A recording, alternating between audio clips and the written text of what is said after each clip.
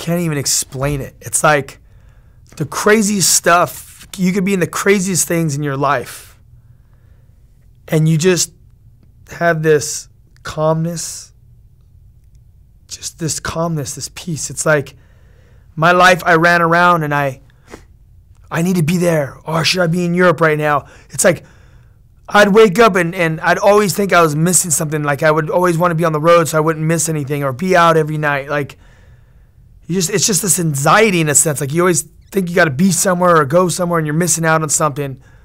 But when I when Jesus Christ came into my life, I just felt like like I'm here right now. This is where I'm supposed to be.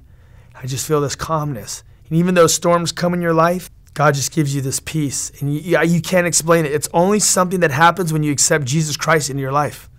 When he comes in, that's the only way you feel the peace. And that's how you know that God is real. Because Jesus said, I will I send the comforter, which is the Holy Spirit. It's just something you got to experience personally.